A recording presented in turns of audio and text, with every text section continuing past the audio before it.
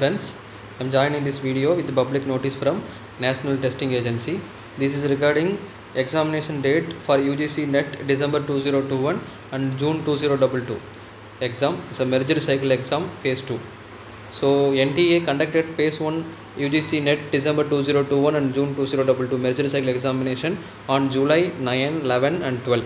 So for 33 subject in 310 examination centers located in 225 cities across the country.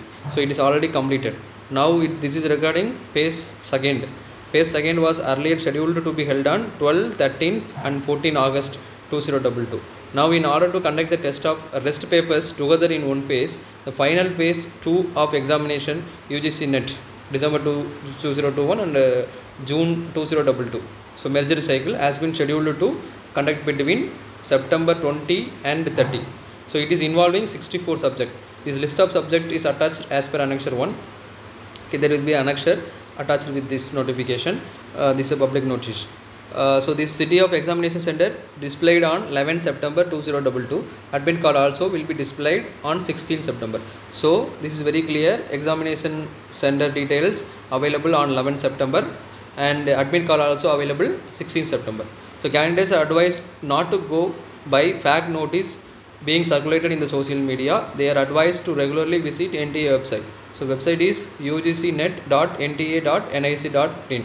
This is a warning for our candidates. So they have to check through this website only for the latest update regarding the examination. For any queries or clarification, candidate can write to NTA.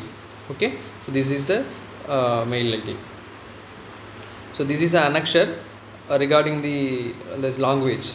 So it's very clearly mentioned here 34 so 64 so these are uh, this is annexure as per this public notice. That's all friends. This is regarding UGC NET December 2021 and June 2022 merger cycle phase 2 exam. Thank you